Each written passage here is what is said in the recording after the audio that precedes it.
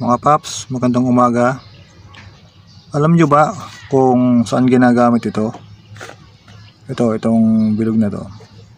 Pero bago ako magpatuloy, ah, baka pwede po ako maka-request ng subscribe, like and share at i-click nyo na rin ang notification bell para updated kayo sa mga video na ina-upload ko.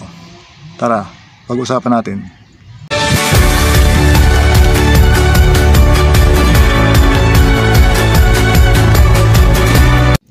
Paps, uh, ituloy natin yung video. Ah, kung, nakiki kung nakikita nyo to, itong spare tire natin, paano ba ito tinatanggal? So, ah, ganito ang pagtanggal niyan mga paps. Kung nakikita nyo tong cup na to, itong bilog na cup na to, ayan, kailangan nyo munang i-release yan bago nyo matanggal yung spare tire. So, bali, ito muna yung unang tatanggalin natin. Ito. Ito. Ito yung tawag dito ay spare tire lock release. Ito, nababasa nyo naman oh. Ano, spare tire lock release. Ngayon, para mag-release yung bilog, yung pinakakap sa ilalim, kailangan nyo hilahin to. Ito, hilahin nyo dapat to. Yan. Yun. Nag-release na siya oh. Oh, ayan, ayan. Ito, nag-release na siya.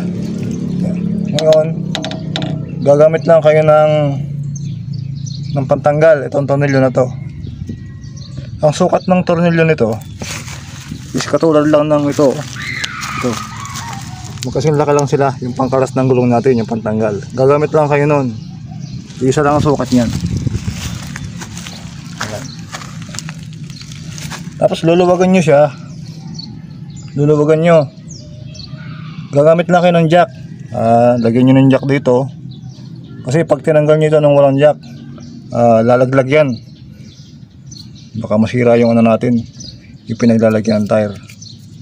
Lagyan nyo lang ng jack tanggalin nyo to. Tapos itong kawit na to to. Pag natanggal na itong tornilyo hilahin nyo lang ito at matatanggal na yung tire nyo. Lalaglag na siya. Pero kailangan nyo ng jack para hindi siya bumagsak ng tuluyan. Ngayon dito mga paps, ah, kailangan lagi may langis to. oh.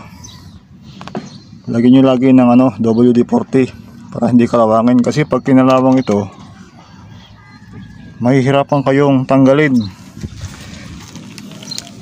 itong bilog na to. Ngayon pag kinalawang to at naplatan kayo sa expressway, isang malaking problema ito. Dahil nga hindi siya nag naaangat pinalawang ang mangyayari niyan babaklasin nyo ito. Sisiraan nyo na yan. Kasi wala na siyang lock. Ayan. Ganun po mga paps.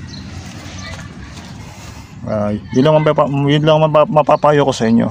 Ito. Palagi nyo lagyan ng langis. Lagyan nyo muna ng WD-40 tapos sa kanya lagyan ng pwede rin tuti. Tuti oil para hindi agad-agad siya natutuyo. Ngayon pag natanggal nyo ng gulong pwede nyo yung ano pwede nyo pwede nyo nang ibalik ito. Ayan so hanggang dito na lang mga paps. At sana may konti kayong natutunan sa akin. Ah, maraming pong salamat. At hanggang dito na lamang ang aking video. Bye bye